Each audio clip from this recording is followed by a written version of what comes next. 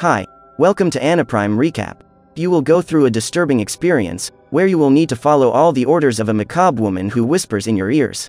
We continue our dark journey through Junji Ito Maniac's stories. Let's begin the story of the first tale, entitled, Whispering Woman.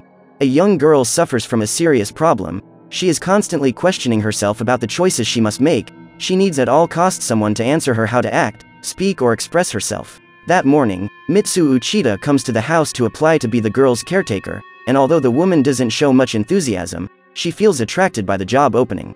The girl's father explains that no caregiver lasted long in that role because of the numerous questions his daughter asked during the day. While explaining how to guide the girl, Mayumi starts screaming in her room, and the two go to meet her. The girl is panicking and Uchida tries to calm her down, she calmly instructs the girl to sit on her bed and relax. The girl's father is impressed by this and leaves his daughter in the woman's care for the rest of the day. As evening falls, Uchida instructs Mayumi to sleep, and so the girl obeys her. Finally, after her first day of work, the woman talks to the young girl's father and he asks her to continue as his daughter's caregiver, as she has done a great job. Uchida replies that she will be back the next day and says goodbye to the man. After a month of work, the girl's father talks to one of his employees about his daughter's situation. He says that the girl has improved a lot since the arrival of the new caregiver. So far, Mayumi has not shown any more panic symptoms, however, Uchida is always by her side informing her what she should or should not do, through her whispers. The man still does not have much information about the new caregiver, so he asks his employee to investigate the woman. At the end of that same day, Mayumi's father thanks Uchida for her work. The woman says that she has finally found a job where she feels comfortable to work. Her boss notices that she has a bruise on her face, and upon questioning her, the caregiver does not respond and just leaves. After two months, Mayumi's father talks again with his employee and reports on the recent events. He explains that his daughter has improved a lot, but Uchida has suffered over time, as she always looks extremely exhausted. Despite this, the woman continues to perform her job to perfection. At that moment, Mayumi knocks on the door of her father's office and asks permission to enter. She opens the door and Uchida is right behind her like a shadow. The woman gives the girl some instructions, and the girl obeys. Mayumi walks up to the man and hands him a flower she found in the garden. Uchida whispers more instructions in her ear and the girl says she will return to her room, faithfully following what the woman says in her ear. After this, the employee tells the boss that he already has the results of the investigation he did regarding Uchida. He tells him that the woman is single, but lives with a man in her house. His name is Ryoichi Aga, he has a completely violent and authoritarian behavior. The subject is a complete exploiter and besides assaulting Uchida, he also steals all her money. According to the investigation, he was the one who forced the woman to accept the job offer because of the good salary that would be paid. Mayumi's father then understands why his wife agreed to stay at work. Uchida has the job of giving several clear and precise instructions, but in her own home, she is the one who follows orders. Finally, the employee asks his boss if they should take any action about the violence that Uchida has been suffering. Mayumi's father comments that if he does something against Ryoichi, maybe Uchida will give up on continuing to care for his daughter, for this reason, he decides to leave the situation as it is. In the garden, Mayumi keeps talking to Uchida and all her questions are answered through whispers that only she can hear. After a few days, Mayumi's father receives the news that Uchida has passed away due to a serious injury. According to doctors, the woman was in critical condition and could not bear to live in that situation for long. Ryoichi is being sought and accused of being responsible for this crime, but he is at large. The girl's father, upon hearing this news, thinks only of his daughter and wonders what future the girl will have without the presence of the caregiver Uchida by her side. However, as the days went by, Mayumi remained calm. Her father decided not to interfere in anything further so as not to harm the young girl's situation. The girl did everything by herself, but still listened to the whispers with Uchida's commands in her ear, even after her passing. The girl always asked questions and got immediate answers through small whispers. One morning, the girl is training her strength by wielding a knife, she strikes several blows on the ground, but is advised to put more strength into her attacks. A few days later, the girl completed her mission and took Ryoichi's life with several knife strokes. Upon arriving home, her father is confronted with the girl covered in blood. Mayumi reports that she has managed to eliminate Ryoichi once and for all. She says that Uchida asked her to do this, after all, in her last words the woman said she would always stand by the girl. Our second story today is entitled, 4 by 4 Walls. On a dark night, a boy walks alone through the forest in search of insects, he has a frightening appearance and always carries nails in his mouth. At home, Koichi is trying to study hard for an important exam, however, The boy becomes totally distracted when he hears noises coming from the attic. He quickly goes to his father to report the problem. Koichi says that it's probably his brother, Suchi, who is causing all this chaos, but at this point, his sister replies that Suchi was watching television next to them the whole time. Koichi is confused by this and decides to just go back to his studies. A short time later, the boy begins to hear someone singing, the song saying that he will do poorly on the exam and get a low grade. Koichi is once again enraged, as he recognizes that it is his brother's voice. He comes out of his room and starts chasing him. After running through a few rooms of the house, Koichi manages to immobilize the younger boy. The bizarre boy says that he wasn't singing any songs, but his brother doesn't believe his words and decides to take him to his father. After they are reunited, Suchi claims that his brother has become neurotic and that whoever was tormenting him is actually a poltergeist, a restless spirit that makes strange noises around the house and lowers the room temperature. Koichi replies that he doesn't believe in this fanciful explanation, he says it's cold because it's winter and the noises are caused by his own brother. Suchi says that the boy will be sorry for scoffing and not believing in poltergeists. A few minutes later, Koichi goes back to his room to continue studying, but he hears strange knocks and soon realizes that some objects around him are floating. He wonders if this is really paranormal activity, however, as he approaches the items, he identifies that they were all being controlled by lines. Koichi follows their path and realizes that they were all coming out of his closet. When he opens the door, he is confronted with his demented brother. Suchi insists that he was not responsible for the noises and that it really could be the presence of a poltergeist. The next day, Koichi asks his father to do something about his youngest son's disturbances, or else he will leave home. The man replies that he will call a carpenter to insulate the room, so that he will no longer have problems with any noise, however, Suchi was listening to all the conversation behind the door. The next day, Koichi comes home from school, his mother informs him that the carpenter was already working on acoustically insulating his room. The boy is excited by the news and goes in person to talk to the carpenter. His name is Tagaisu, he has a bizarre and frightening appearance, the man says he will use modern techniques to block out any sound in the room. He explains that he will use four walls to stop all outside noise. Tagaisu says that four walls is the perfect combination, because in Japanese the number four has approximately the same pronunciation as the word death, so this construction will have good results.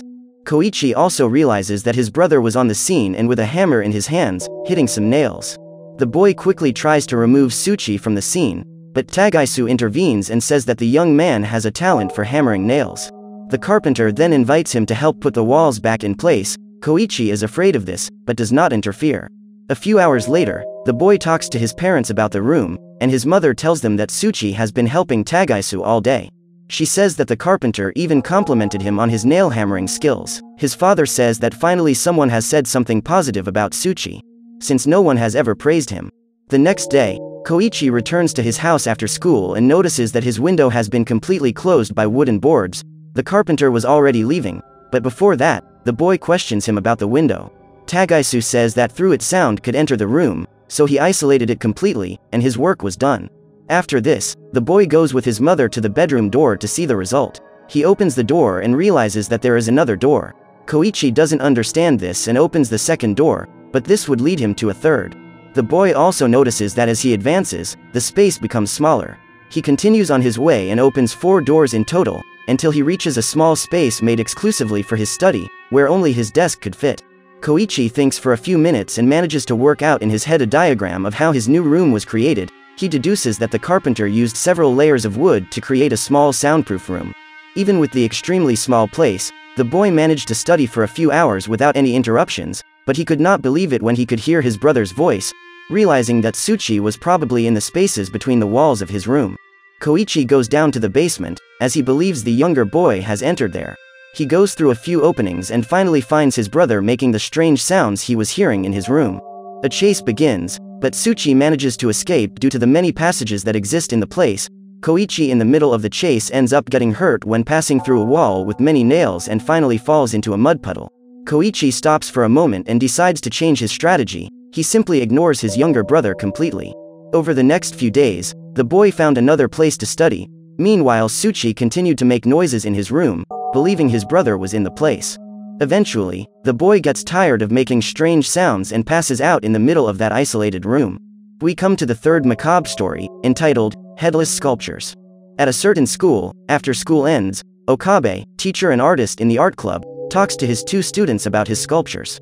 He explains to Shimada and Rumi that he likes to sculpt bodies without heads, because people could imagine several possibilities for a single statue. His students admire him for his way of thinking and believe that he really is a great artist. The next day, Rumi arrives at school and soon notices a great commotion. The girl approaches two classmates and is told that someone has taken the life of Professor Okabe.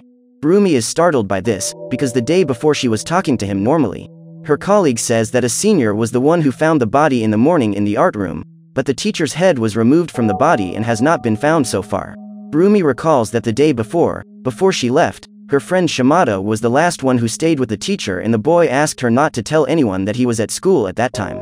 With this in mind, Rumi goes to her friend's house after school, she chats briefly with him, until the boy comes out of the house and asks directly if the young woman believes he was responsible for taking Professor Okabe's life. The girl denies this, but before she can ask any more questions, the boy says he needs to show her something important, the two then leave, and Shimada continues with a completely different expression than usual. At that moment, two students walk through the school in search of an English book that was in the art room, on the spot, they come across the horror scene where the art teacher's body was found. They follow scared and try to act quickly to get out of that room as fast as possible. However, the girls hear knocking at the door of the sculpture room. They notice that there was someone on the other side, but they can't identify it. Then the door slowly opens to reveal Professor Okabe, his face bruised and his skin a bizarre color. That same night, Shimada tells her friend that the art teacher was alive and hiding in the old school building. He then invites her to visit the man, and despite the girl's misgivings, she decides to accept, and the pair makes their way to the art room. As they enter the sculpture room, Shimada tells them that the professor will arrive soon and that they should wait for him. Rumi notices that all the sculptures in the room are gone, and that the room exudes a strong stench. Shimada locks the door and removes the mask that was on his face. As she begins to talk to her friend, the girl realizes that although she hears Shimada's voice, his mouth is not moving. Quickly the young man explains that the professor was there all along, he removes the cloth covering one of the statues and there was the head of his former professor attached to a sculpture. The boy removes his head and asks the girl to calm Temple the greatest artist of all time. Rumi panics at this and slaps his friend in the face, but as she does so, the boy's head spins and falls to the ground. The body, however, continues to move on its own. The girl tries at every moment to dodge the various attacks until she kicks it and discovers that it is a plaster statue. The young girl then acts quickly and grabs the room key that was on the floor and tries to open the door. Meanwhile, a plaster statue begins to move with a knife in its hands, trying to approach the girl to attack her, but Rumi manages to get out in time, however, another sculpture was positioned so that the girl would not try to escape. Rumi searches for another way to save herself, while the statues continue their hunt. The girl finally manages to find a room to take cover, but when she looks around, she finds several bodies scattered on the floor and without their heads. Meanwhile, the plaster statues were fighting to decide who would get the young ones' heads. When they noticed Rumi's presence, they walked towards her and cornered her, starting the procedure to remove her head. We come to the fourth and final story called Suchi's Beloved Pet. After leaving school, Sayuri finds a cat abandoned by the road, she tries to help it and takes it to her house. When her parents arrive, the young girl and her brother, Koichi, try to convince them to keep the pet. The parents agree to take care of the animal and the girl gives it the name Korin. The animal was living a quiet life from that moment on, until it came across the couple's youngest son, Suchi. The boy tries to scare him with his mouth full of nails, so the feline runs away and completely ignores Suchi. The bizarre boy does not accept to be ignored and ends up tying a rope around Korin's neck. He says he will teach him a lesson, but before he can do anything, his sister intervenes and slaps him in the face. Soon after, the cat scratches the boy with its claws. Later, Koichi tells his mother that this trait of violence present in Suchi could become a serious problem in the future. He advises her to stop defending the boy, because those who commit acts of aggression against animals could easily perform the same action on people. The bizarre boy was receiving the bandage from his mother, he becomes enraged upon hearing these words from his own brother. His anger is so great that Sayuri ends up suffering from a small shock to her body. Suchi laughs at the situation, and a short time later, in his room, states that he has made a curse against his brothers and something much worse is coming. The next day, Koichi and Sayuri search for their pet cat. They walk through the house and come across the bizarre brother performing an insane prank on the pet. Suchi has attached a lifeless poisonous snake to a line and lures the cat with it. His brothers ask him to stop immediately, but at that moment, Korin manages to bite the animal and takes it into a corner, where it begins to devour it. From that day on, the cat's calm and harmless behavior changed completely, he began to behave wildly and gradually hunt giant insects for food or even for fun. After a few days, the little kitten brought out a bizarre insect that the brothers had never seen in their lives. It looked more like an arachnid with several eyes and legs, but Suchi, when confronted with it, claims that the animal came out of the depths of hell. On a certain night, the entire family realizes that the house is covered with a large amount of cat hair. Koichi also explains to his parents that he has closed all the doors and windows so that Korin cannot get out and bring something bizarre into the residence. Sayuri asks her older brother for help, as she believes Suchi has the animal in his room. When they get there, the brothers find Korin and Sayuri asks her brother to return the animal, but as she approaches him, the girl goes into shock when she is confronted with the demonic expression on her pet's face. Koichi then tries to take the cat for himself, but before he could do anything, the kitten becomes enraged and releases a gigantic electric discharge. Suchi also receives the electrical discharge and after a few seconds, a large explosion takes place in the house. The next day, the family meets Suchi in the hospital, he is completely injured from the shock he received, but even in this state, he curses everyone in his family. Sayuri realizes that Korin is back to normal after the bizarre event, at least that is what she believes. Which of these tales was the most disturbing? Do you think you would survive all of them? So, what did you think of this anime? Leave it in the comments below. And if you liked the video, like it and subscribe for more anime recaps. See you next time.